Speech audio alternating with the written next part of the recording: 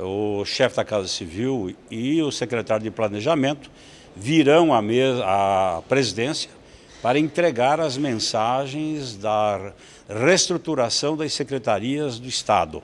Esse é o objetivo. A reunião de hoje ela teve um outro objetivo que era uh, explicar aos líderes da base de apoio do governo uh, que antecipadamente ao encaminhamento a qualquer mensagem, né, os senhores deputados tomariam conhecimento. Esse era o objetivo da reunião que foi feita com o chefe da Casa Civil.